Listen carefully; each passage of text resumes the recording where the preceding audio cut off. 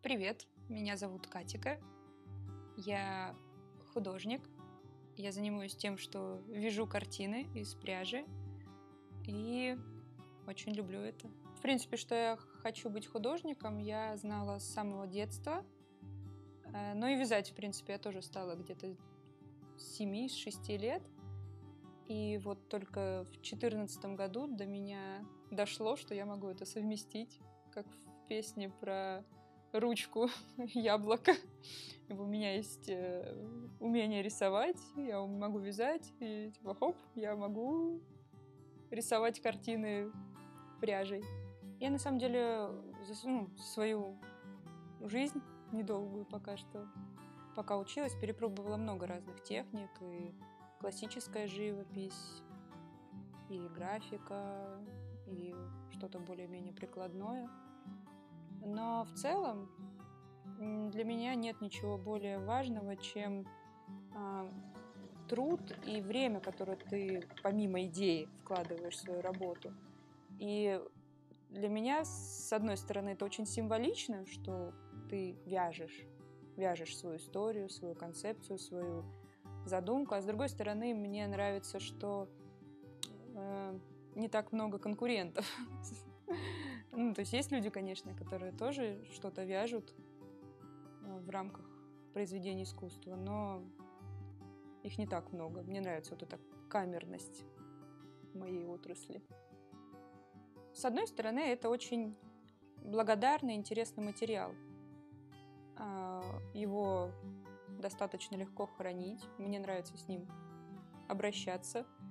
Если это натуральное шерсть или хлопок, то это, в принципе, тактильно очень приятно. А, и глубокий смысл, который таит в себе нить, он тоже мне очень импонирует. По сути, что такое нить? Нить — это непрерывность жизни, это твой путь.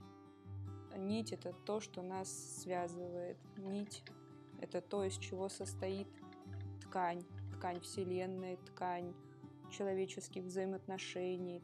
То есть э, нету ничего в отрыве.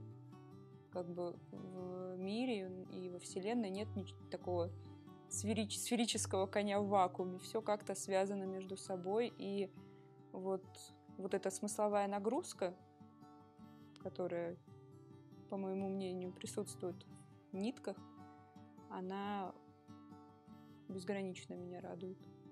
А в целом, когда я только начала экспериментировать с этой техникой, я подумала, что вполне вероятно, это неплохо бы смотрелось на одежде, э, на аксессуарах.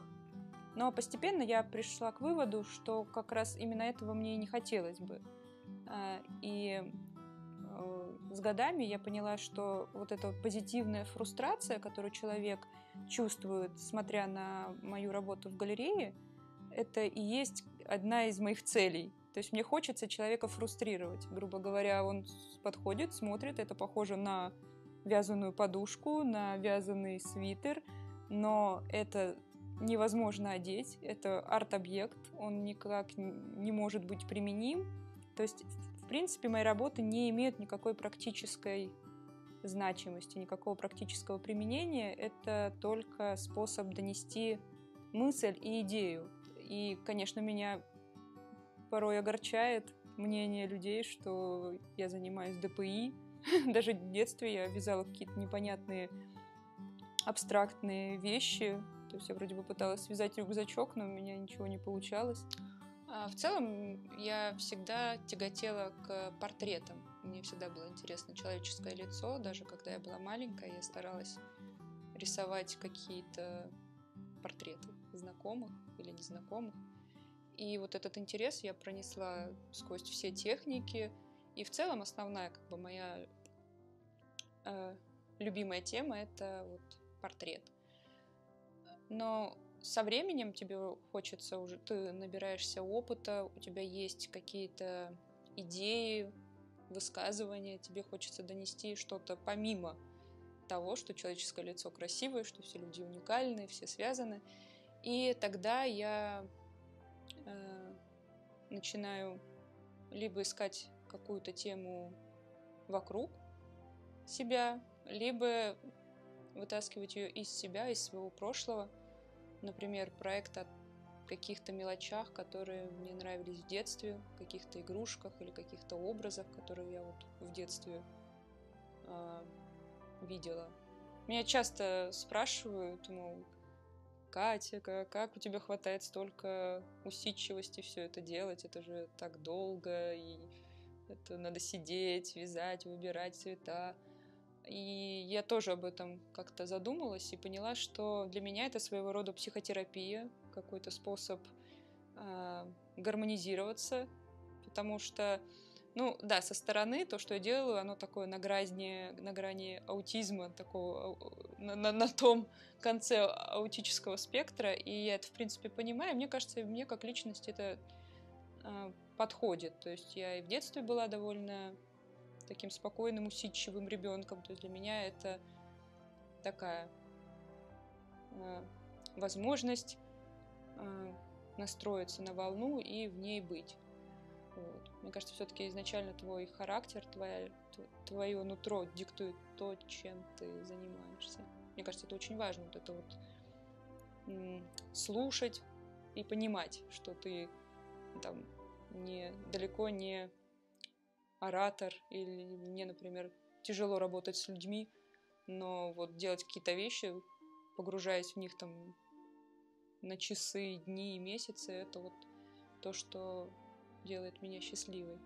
А первые мои работы вот в этой технике я делала на обум, то есть я просто экспериментировала, потом постепенно я пришла к определенной методике, что изначально надо думать об эскизе, ты делаешь эскиз, рисуешь, делаешь пробы, а уже потом по нему непосредственно работаешь, создаешь работу.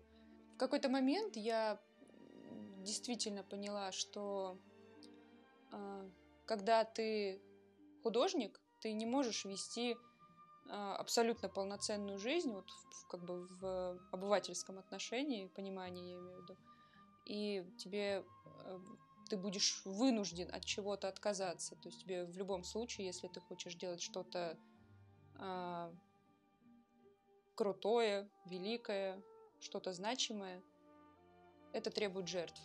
И в свою очередь я тоже решила принести эти жертвы. Первый из них это был отказ от какого-либо цвета в одежде. То есть я уже очень долгое время, весь мой гардероб, я ношу только черное. И я не религиозный человек, но меня очень э, очаровывает э, вот это, этот аскетизм э, монахов, монахинь, то есть вот этот их э, минимализм, отчужденность от мирского. И я, в принципе, вот это вот свое такое поведение как раз и расцениваю как некое служение, но только вот не Богу, а искусству.